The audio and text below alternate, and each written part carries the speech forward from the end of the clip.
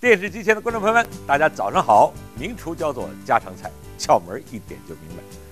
我相信现在很多大爷大妈现在已经早早的候着我们了啊，因为我们上周三预告过，这周三我们做黄颜色的粥，什么粥呢？叫做三文鱼南瓜粥。这种粥补脾，我们有请焦大师。春季汤汤水水不能少，粥品最适合人体的吸收。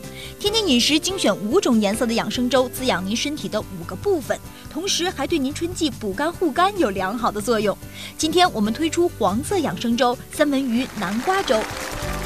焦明耀大师最擅长用简单的原材料烹制出四季养生菜。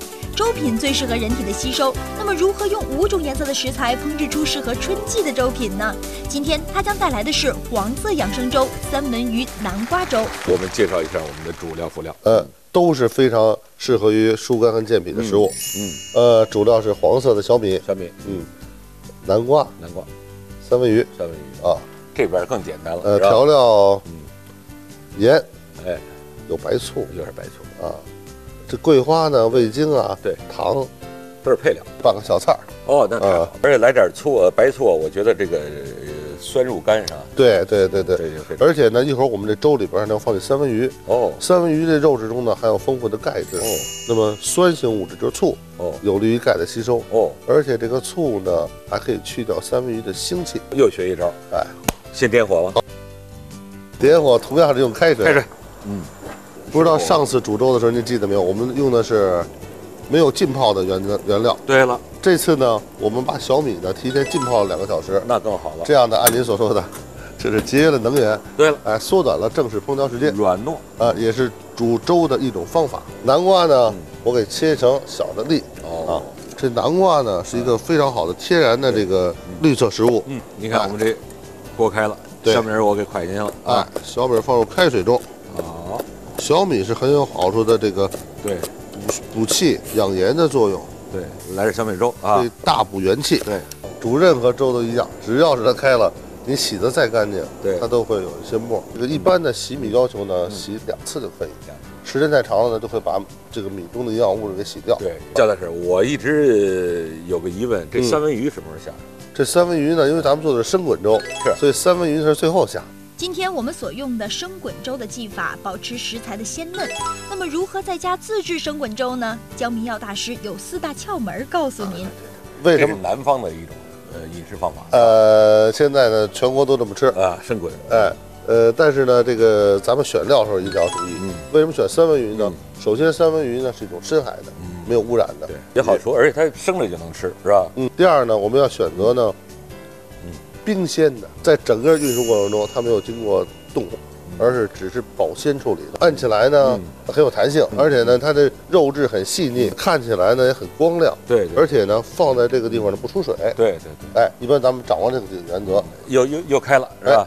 这时候粥开了，我还哎得把这个沫儿去掉，精心对，精心精心。慢慢熬着，来了，加入南瓜粒，南瓜粒。您看这个时候呢，我们为了加快它烹调速度，嗯。刚才所说的，嗯就加入一小勺醋，好，白醋。好，啊，千万您别加熏醋。哦，哎，少加不要太多。哎。加醋的时间呢要注意，嗯。你要太早了加吧，嗯。这个粥呢还没有煮开，嗯。呃，没有作用，嗯，米没有膨化开。这个醋呢一部分要进行对这个粥呢进行这种膨化的这种作用，嗯，一部分呢要跟这个腥呢取得反应。一部分呢还要挥发出来。这时候我们把这三文鱼盖哎，个头我们，把三文鱼改刀，三文鱼呢这样呢是顶刀，我们尽量呢给它切成薄一点的片儿，嗯，越薄越好。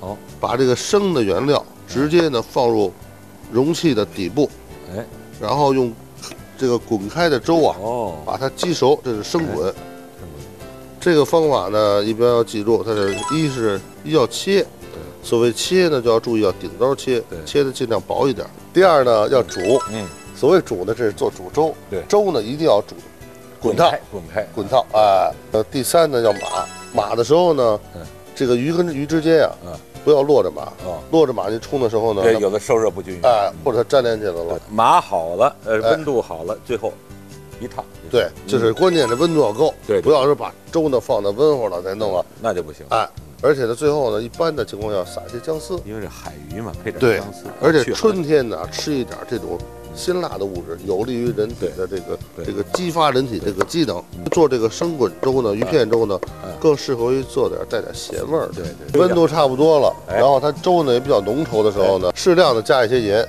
因为它这个鱼呢，这个本身有一点儿这个腥味儿，加一些盐呢可以提它的香味儿，加点味精，滚开的，哎，小米粥，把鱼冲熟，哎，你看，你看这个时候的鱼呢已经变色了，对，就是完全成熟，对而味道也是不错。有了鲜滑美味的三文鱼南瓜粥，搭配的小菜也不能马虎。我们来换个菜码，配合着这个粥做一个哎，桂花山药。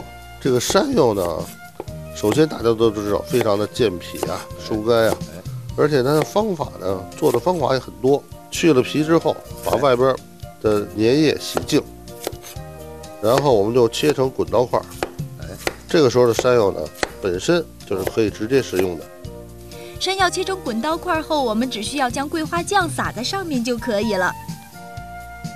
如果你喜欢吃咸的呢，就拿点盐，拿点香油。对，喜欢吃味精的，加点味精拌一拌，而且您佐酒也很相宜。黄黄的粥，白白的山药，哎，还闻着这个清香的这个桂花的味道。而且热乎乎粥，而且里边还有真有料。有最关键的是是啊在享受美味的同时呢，既健了脾又疏了肝。好啊，，那么今天呢，呃，这个粥呢其实很简单，嗯，但是做的时候您还可以添加点别的东西。嗯，但是一定要注意呢。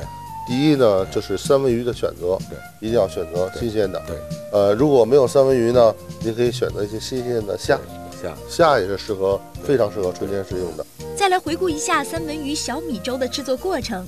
选好的三文鱼切成大片儿，铺在碗底，下入小米后煮开，加入南瓜粒儿，调入少许的白醋。粥熬得滚烫后调味儿，冲入放有三文鱼的碗中，三文鱼南瓜粥就做好了。焦老师，那 下周三就该做绿色的。对，更适合春天。对我发呃我发现这个绿色的粥啊，可能做法的更多。绿色就是疏肝的对疏肝啊，就是春天最适合食用的。哎，咱们又接近主题了。好，我们下周三不见不散。再见再见。怎样做出外焦里嫩的家常烙饼呢？从事烹饪四十多年的陈辉师傅，在北京郊区收集了一道非常好吃又家常，而且操作手法非常独特的农家炸面烙饼，敬请关注。